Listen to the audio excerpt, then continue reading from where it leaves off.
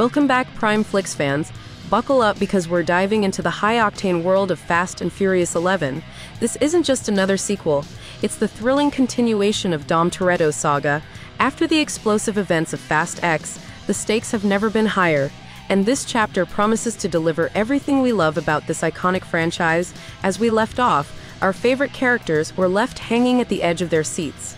Fast and Furious 11 picks up right where Fast X ended. And trust us, you won't want to miss a second of this intense ride. Vin Diesel is already hyping up the film, and he's got every reason to. The script is being crafted by Zach Dean, who also contributed to Fast X. This shift in writer signals a fresh yet familiar approach to storytelling. Diesel's recent heartfelt tribute to his late co star, Paul Walker, hints at the emotional depth we can expect. We all remember Brian O'Conner, and Diesel has made it clear. We cannot wrap up this saga without giving Brian a proper farewell.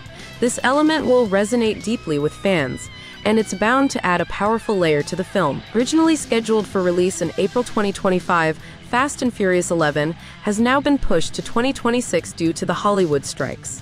But don't worry, filming is set to kick off in September 2024, and we can expect the jaw dropping action sequences that the franchise is known for. What's a Fast and Furious movie without our beloved characters? While Universal hasn't officially confirmed the cast list yet, we know Vin Diesel will return as Dom. We can also look forward to the return of Letty, Mia, Roman, and more. It wouldn't be Fast and Furious without them, and let's not forget about Dwayne Johnson. His cameo as Luke Hobbs in Fast X's post credit scene hints at a more significant role in Fast 11. Will we see a showdown between Hobbs and the menacing Dante? It's shaping up to be an epic battle that you won't want to miss. In addition to the returning favorites, we're expecting some familiar faces from Fast X, including Jason Momoa's villainous Dante and Brie Larson's rogue agent Tess.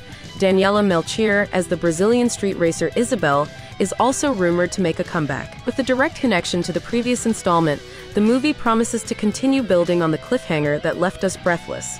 The tension is palpable, and the stakes are at an all time high for Dom's family. Vin Diesel has emphasized the importance of properly concluding Brian O'Conner's storyline. This emotional farewell is bound to resonate with longtime fans of the series. How will the family react? What surprises await them? But that's not all. While Fast and Furious 11 wraps up the main storyline, Diesel has hinted at exciting spin offs that will explore the franchise's expansive lore. The Fast universe is far from over, so gear up, Fast and Furious fans, Get ready for an explosive ride filled with heart pounding action, emotional farewells, and of course, the family values that have defined this franchise from the start.